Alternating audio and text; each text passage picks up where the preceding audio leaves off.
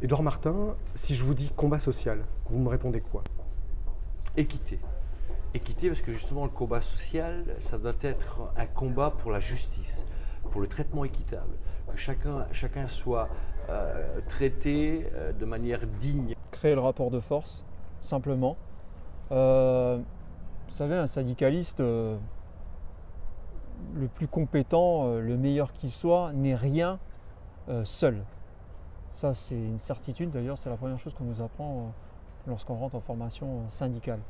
Euh, créer le rapport de, force, est essentiel. essentiel parce que, mener des actions corporatistes au nom des salariés ne mène à rien, et strictement à rien.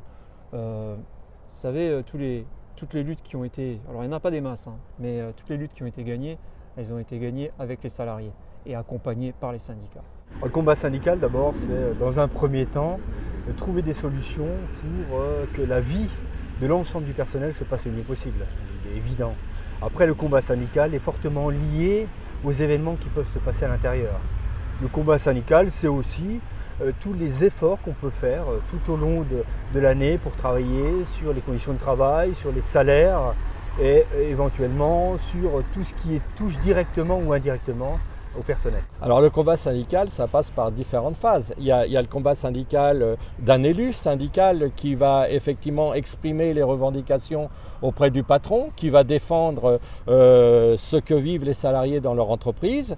Et à partir de là, il y a un débat entre le patron et les élus syndicaux qui effectivement essayent de faire avancer les choses. Mais le, combat syndical, pour moi, il est de, plusieurs formes. Il peut partir de la simple pétition à la manifestation. Et, le, vrai combat syndical, le grand combat syndical, là où on fait avancer les choses, c'est quand les salariés sont unis avec toutes leurs organisations syndicales, je ne dirais même pas unis avec la CGT, unis avec toutes les organisations syndicales. Je l'ai connu en 1989 où nous étions plus de 5000 à exprimer la revendication pour les 1500 francs.